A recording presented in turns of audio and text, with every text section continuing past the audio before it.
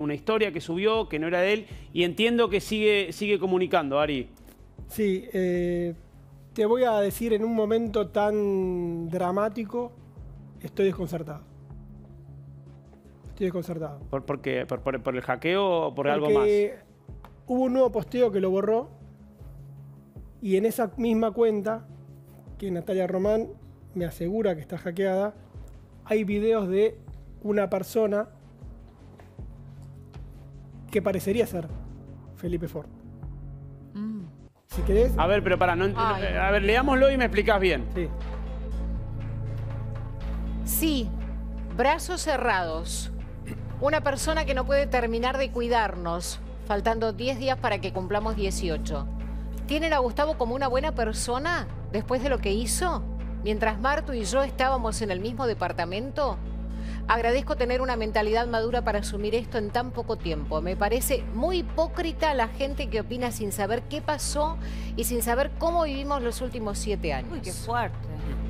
No, pero, a ver, eh, de vuelta, ¿está confirmado que está hackeada ahí? eh, de vuelta? O sea, Yo te está- paso- te no, paso- digo lo que dice la, la prensa. Te paso limpio.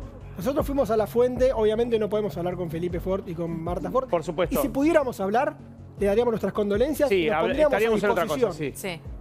Vimos un posteo que era bastante curioso, si te quiere decir la palabra, por, por, lo que decía y por, por cómo trataba a Gustavo. Nos llamó la atención.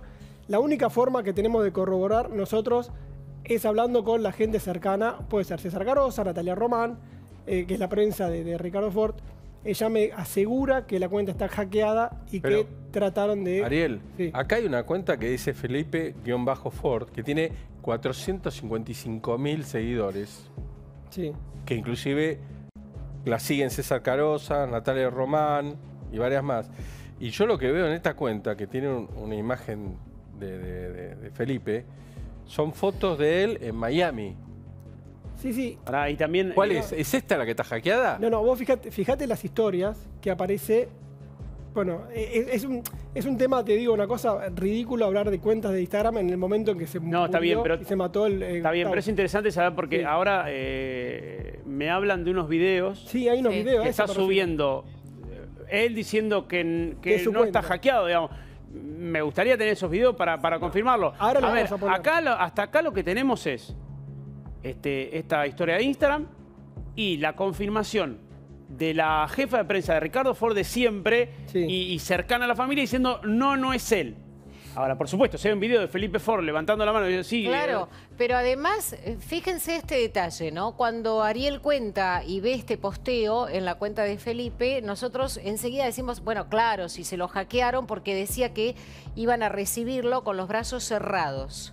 Pasa un rato y el posteo arranca diciendo sí, con los brazos Que este lo cerrados. borró. Como si nos Este lo estuviera borró. Como si nos estuviera respondiendo, bueno, no- digo, no, no, no a nosotros, pero a los que por ahí seguramente repararon en ese detalle. Ojo con eso, porque además dice, opinan sin saber. Che, a ver, espera, espera. Este posteo espera, está- un está segundo. borrado ahora un, igual. un segundo, porque es, eh, perdón, es, es increíble lo que, lo que está pasando.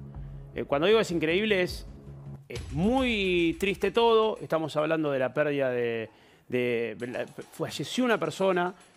En principio, eh, el entorno de, de Ford dice que esto está hackeado y ahora pareciera ser que hay un video de Felipe diciendo no, no estoy hackeado.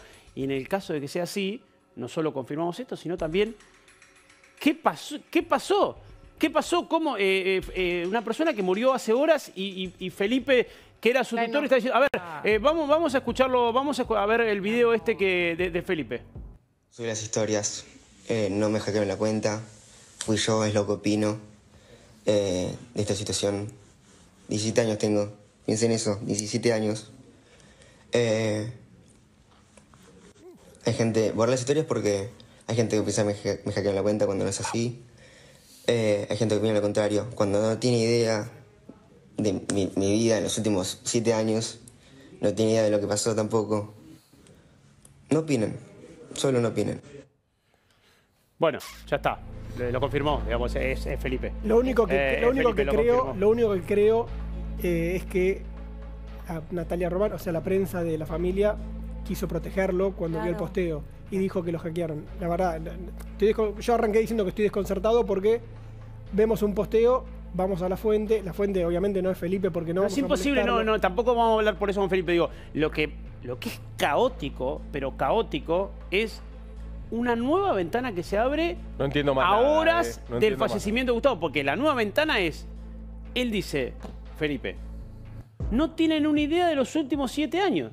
Por eso, pero yo... yo Cuando digo no tiene una idea, eh, nos habla a todos nosotros, digamos, habla Sí, sí, a, la- a la claro. prensa, está hablando a los que estamos comunicando esto. Seamos Eso de prudentes, adolescente enojado. Claro, Claro. seamos prudentes. Digo, vos pensás, vos, eh, repasemos después, Chino, si te parece, el- el- el- el- los tweets, el primero y, y este segundo, donde él dice, nos deja solos, nos está enojado esta criatura. Sí. Pero digo, bueno, pide que no opinemos, eh, simplemente me, da la sensación que. eh, bueno, quizá tenga más cosas para decir, no lo sé, pero hoy pensás que hace varias horas. Y es verdad, ellos estaban en el departamento y quizá tiene todo el derecho en sentir esto, ¿no? No, Eh, además- después habrá profesionales que le deberán explicar, digamos, si él estaba realmente con una enfermedad como la depresión, que no, quizá no lo pudo ver. Total.